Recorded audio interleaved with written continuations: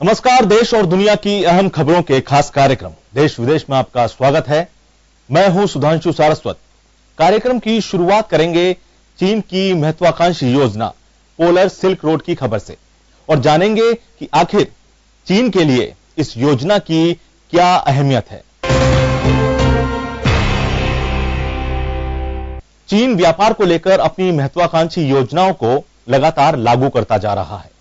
चीनी सरकार ने हाल ही में अपनी आगामी योजना, पोलर सिल्क रोड की घोषणा की है।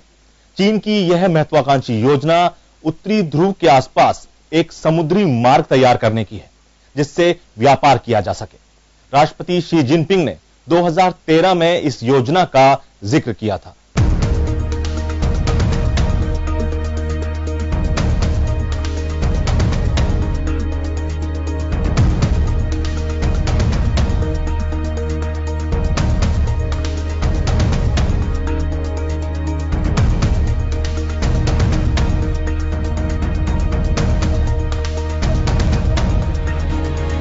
चीन ने एक बार फिर से अपनी नई परियोजना की घोषणा की है।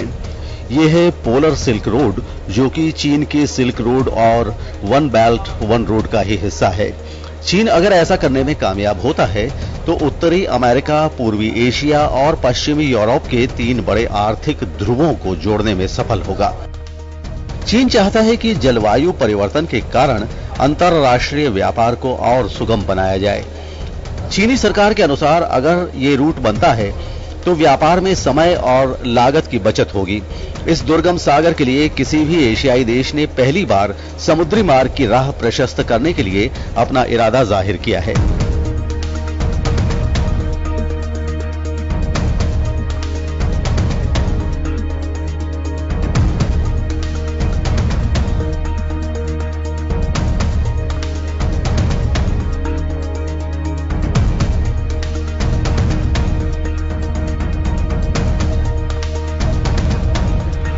हाल के वर्षों में चीन नए अंतर्राष्ट्रीय समुद्री मार्गों और बंदरगाहों को लेकर भी काफ़ी सक्रिय हुआ है।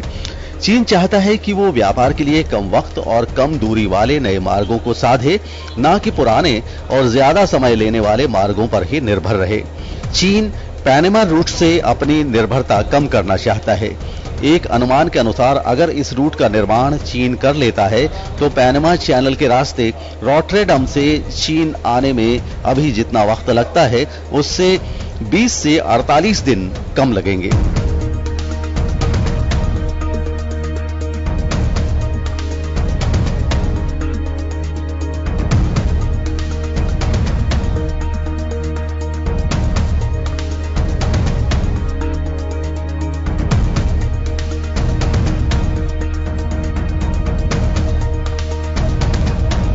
इस महासागर में चीन का कोई समुद्री तट नहीं है।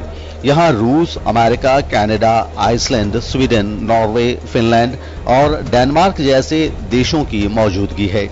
इन देशों के बीच अपने अपने हितों को लेकर विवाद भी है। हालाँकि 2013 से चीन आर्कटिक काउंसिल में पर्यवेक्षक सदस्य के तौर पर काम कर रहा है।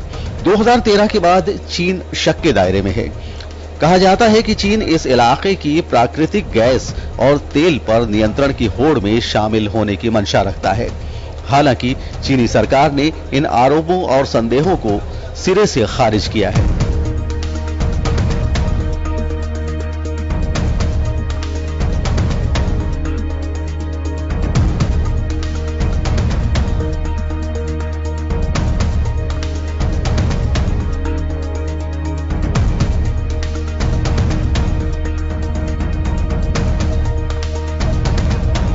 चीन की विस्तारवादी नीति बहुत तेज़ी से काम कर रही है। चीन चाइना पाकिस्तान इकोनॉमिक कॉरिडोर पर भी काम कर रहा है। भारत चीन के वन बेल्ट वन परियोजना का हिस्सा बनने से इनकार कर चुका है। भारत को भी व्यापारिक मार्गों का विकल्प तेज़ी से तलाशना होगा।